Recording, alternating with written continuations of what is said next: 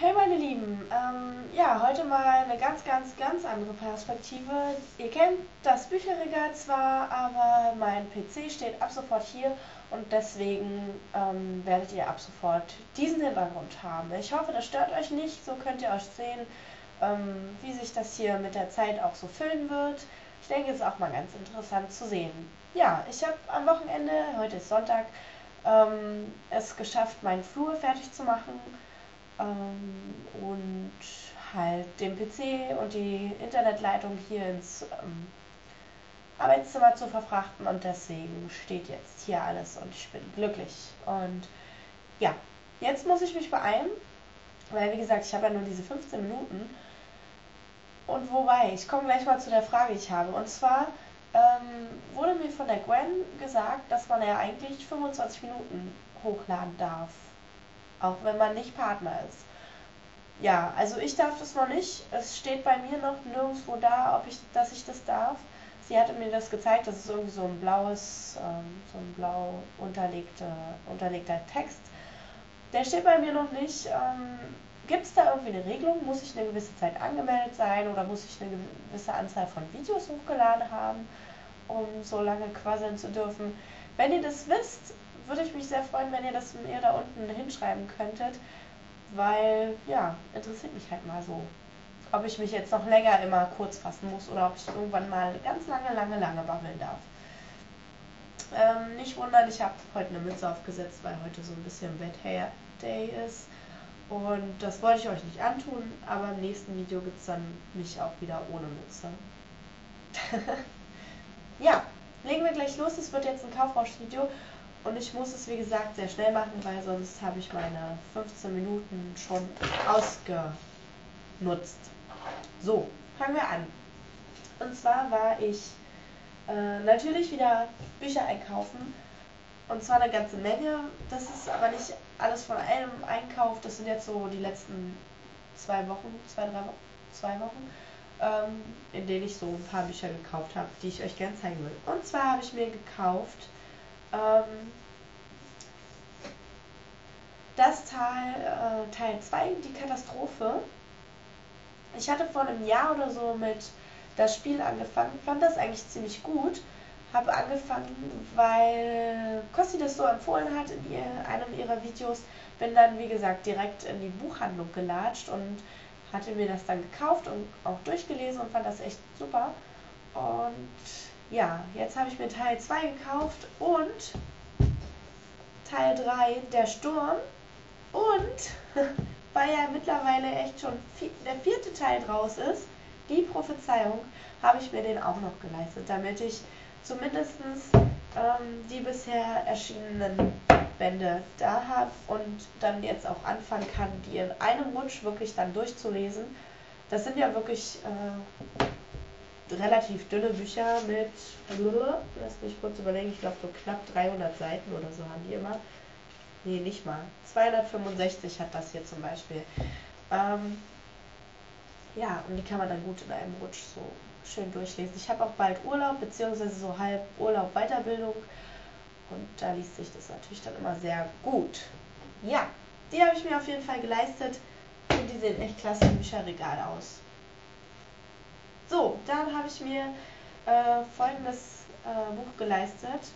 Nee, ich sag mal nicht den Titel. Ich erkläre mal die Story drumherum. Also ich habe mich ganz ehrlich wirklich geärgert, als ich, dass ich das Buch gekauft habe. Es war ein Coverkauf. Als ich das im Buchladen gesehen habe, habe ich gedacht, boah Mensch, das sieht echt schick aus. Hatte mir das hinten durchgelesen und fand das auch eigentlich ziemlich interessant. Bin dann irgendwann nach Hause getingelt und habe mir bei Amazon, habe es dort gesucht und gefunden und hatte mir die Rezensionen und Bewertungen durchgelesen und habe echt einen Schreck bekommen, weil ja, das Buch doch echt schlecht bewertet wurde und auch ein bisschen zerrissen wurde von den Leuten. Und jetzt habe ich ein bisschen Angst, dass ich das auch doof finden werde und das eines der ersten Bücher sein werde, was ich abbrechen werde. Worum geht es denn überhaupt? Ich babbel hier. Es geht um folgendes: Endzeit von Liz Jansen. Dieses Buch habe ich mir sogar gekauft, obwohl dort folgendes steht. Thriller. Ich bin ja wirklich absolut kein Thriller-Fan. Ähm, und das hat nichts damit zu tun, dass ich die, dieses Genre nicht leiden kann. Das hat einfach was damit zu tun, dass ich tierischer Schisser bin und ähm, ja, bei so Büchern lese ich ungefähr so. Und mache dann diesen hier, was natürlich sehr dämlich ist, weil man natürlich wissen will, wie es weitergeht. Und ähm, ja, ich hoffe jetzt ehrlich gesagt, dass dieses Buch nicht ähm, so schlecht ist, wie sie alle gesagt. Es liegt auf jeden Fall an, auf meinem Sohn. So, dann habe ich mir letztens am Bahnhof, äh, im, am Ostbahnhof folgendes geleistet. Ich konnte einfach nicht um diesen Laden drumherum und bin dann reingelatscht. Kerstin Giers, äh, Fisherman's Friends, äh, Fisherman's Friend in, der, in meiner Koje. Ja, es wandert auf jeden Fall sofort wieder zu diesem Stapel. Dort stehen nämlich meine bisherigen Kerstin Gier Bücher und das wird jetzt eins davon. Es ist schön groß geschrieben, es liest sich bestimmt sehr, sehr schnell weg. Äh, und schon alleine durch den Humor von Kerstin Gier wird das ein ganz, ganz schnelles Ding sein, denke ich mal. Und dann habe ich mir jetzt äh, in dem gleichen Buchladen dort am Bahnhof, habe ich mir den hier noch geleistet. Daniel Glattauers Gut gegen Nordwind. Ähm, habe ich auch schon ein bisschen angefangen.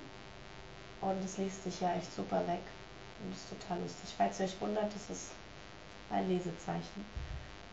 Hat mir eine Freundin noch zum Geburtstag geschenkt. So, so ein Fotofix-Streifen oder wie sich das genau schimpft. Ja, zack. So, dann schnell weiter. Ähm, ich war dann noch irgendwann mal in einem Buchladen, haben wir aber glücklicherweise, ich habe es wirklich geschafft, ich war in einem Buchladen und habe es ähm, geschafft, kein Buch zu kaufen. Entschuldigung, ich war gerade ein bisschen abgelenkt. Aber ich habe mir folgendes mitgenommen, weil ich äh, in letzter Zeit viele Rezensionen dafür, dazu gesehen habe. Was heißt viele? Ich habe, glaube ich, zwei gesehen. Aber die haben mich zumindest so interessiert, dass ich mir dieses hier mitgenommen habe. Eine Leseprobe zu Emerald von John Stevens. Und ich habe reingeguckt und mir ein bisschen zu dem Autor durchgelesen und also entdeckte Folgendes. Ähm, John Stevens ist als Drehbuchautor und Produzent bekannt geworden. Er wirkte nach seinem Studium an so erfolgreichen Fernsehserien wie Gossip Girl und Gilmore Girls mit. Gilmore Girls! Ich liebe Gilmore Girls! Und dann steht hier noch, erst Philip Pullmans Trilogie Goldener Kompass brachte ihn schließlich auf die Idee, sich mit dem Schreiben von Kinder- und Jugendbüchern sich dem, Schrei sich dem Schreiben von Kinder- und Jugendbüchern zu widmen. Ja, la la la la. So. Fand ich gut. Also könnte sein, dass ich mir das eventuell auch leiste. Ich habe jetzt zwei Rezensionen von, also einmal die von Papiertourist geguckt und die von der Glimmerfee Senior sozusagen. Ähm, und die waren ja beide hellauf begeistert und haben gesagt, das ist echt ein tolles Buch und ein Schmuckstück im Bücherregal. Ja, ich bin gespannt. So, dann war ich ja wie gesagt bei einer Freundin und habe mir folgendes ausgeliehen, weil ich euch ja gesagt habe, ich will das mal zumindest ausprobieren, ob mich Evermore, ja, ob ich das genauso schrecklich finde oder ob zumindest der diese Reihe von Alison Noel etwas für mich ist. Also ich habe es mir ausgeliehen und ja, werde dann mal gucken, wie es ist. So, dann habe ich diese Woche ein Buch fertig gelesen.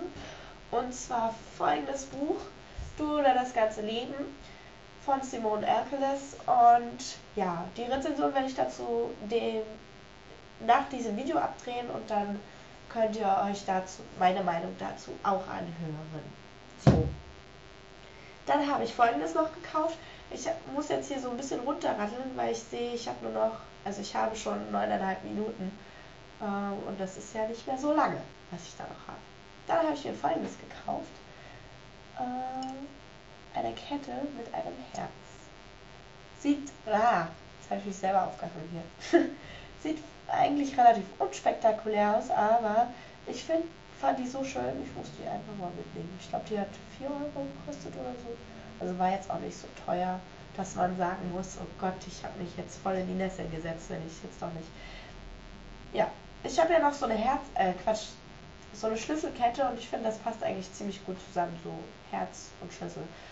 Und äh, falls ihr das nicht so seht, das ist nicht so zusammengemanscht ist irgendwas, das ist, äh, das sollen, oder das sind Blümchen und Blätter sowie ein paar Zweige. Das sieht jetzt für euch wahrscheinlich eher aus wie irgendwie zusammengemanschtes irgendwas. Aber es ist eigentlich ziemlich schön, finde ich. So, dann habe ich noch folgendes bekommen, nachträglich noch zu meinem Geburtstag. Der ist ja nun schon eine ganze Ecke weit her. Und zwar diese Lesezeichen. Das sind diese berühmten Magnetlesezeichen. Ich hatte vorher selber noch gar keine und ähm, hatte die Eulen. Also wie ihr seht, es ist ja was anderes hier drin vielleicht, also bevor ihr euch wundert, erkläre ich euch die Story dahinter. Ähm, hatte die Eulen gesehen und fand die echt total süß. Und eine Freundin von mir stand neben mir und fand diese Cupcakes total niedlich. So, also hatte ich äh, gesagt, naja, pass auf, dann kaufe ich dir die Cupcakes. Und sie meinte, oder, nee, Quatsch. Ich habe gesagt, dann kaufe ich dir die Cupcakes, du kaufst mir die Eulen und dann tauschen wir. Und dann sind wir beide glücklich. Weil sie die Eulen halt auch toll fand. Und ich die Cupcakes. Ja, so. So war jetzt etwas verquer erklärt, aber ihr werdet es schon verstehen. Auf jeden Fall ist in ihrem Paket sind jetzt zwei Cupcakes und einmal, einmal eine Eule, beziehungsweise zwei Eulchen da oben drauf mit einem Buch und bei mir halt zwei Eulen und ein Cupcake. Ja, ähm, sie hat mir das zum Geburtstag geschenkt. Wir haben uns nämlich abgemacht, dass wir uns das gegenseitig zum Geburtstag schenken. Tja, sie hatte auch nicht Geburtstag, deswegen liegt ihr es noch hier. Edge. so, und zu guter Letzt, ähm, ich hoffe, ich habe jetzt echt nichts vergessen, was ich noch erzählen wollte. Aber zu guter Letzt war ich heute mit einem Kumpel erstmal lecker bei Subway essen. Ich liebe Subway. Boah, gibt echt kein besseres Fastfood als Subway. Und danach waren wir in der Videothek. So, und anstatt sich wie jeder normale Mensch, äh, jeder normale Mensch ein Video auszuleihen, macht Janine folgendes. Sie guckt sich natürlich die Videos, DVD, Quatsch, die DVDs an. Videos. Von wem bitte? Naja, ich habe mir die DVDs angeguckt, die zum Verkauf da stehen. Und es waren äh, folgende. Night and Day mit Tom Cruise und Cameron Diaz. Ähm, bevor jetzt irgendwelche Sachen kommen, äh, Tom Cruise, Tom Cruise, ähm, ich mag Tom Cruise als Schauspieler wirklich sehr. Seine Person in der Öffentlichkeit, die er in der Öffentlichkeit darstellt, eher nicht. Was heißt eher nicht? Eigentlich überhaupt nicht. Aber so als Schauspieler finde ich ihn eigentlich ziemlich talentiert und sehr gut. So. So, so viel zu meiner Meinung ihr müsst sie nicht teilen. Ähm, ne? Ihr wisst Bescheid. So, und dann habe ich mir noch folgendes geholt. Shutter Island mit Leonardo DiCaprio. Die wurden mir übrigens beide empfohlen von meinem Kumpel. Der hat gesagt, in dem lachst du dich scheckig. Und der ist bis zum Ende hin spannend und nervenaufreibend. Ich bin ein wirklich großer Fan von The Beach mit Leonardo DiCaprio und hoffe natürlich, dass der jetzt auch gut wird weil ich gestehen muss, ich war von Inception echt enttäuscht. Ich fand den jetzt nicht so. Alle waren so begeistert. Ich fand den jetzt ehrlich gesagt nicht so doll. Ja, falls ihr meine Meinung zu dem Film irgendwann mal hören wollt, sagt mir Bescheid. Ähm, entweder schreibe ich sie euch oder klatscht das irgendwo in den Vlog noch mit rein. Ja, ich habe jetzt glücklicherweise alles geschafft, was ich euch erzählen wollte. Es ist natürlich alles sehr komprimiert und ohne viel Schnickschnack. Aber ähm, ich hoffe, euch gefällt soweit mein Video. Ich wünsche euch noch einen schönen Sonntag und wir sehen uns demnächst in der, mit der Rezension von Simone Erkeles Du oder das ganze Leben wieder. Also, tschüss!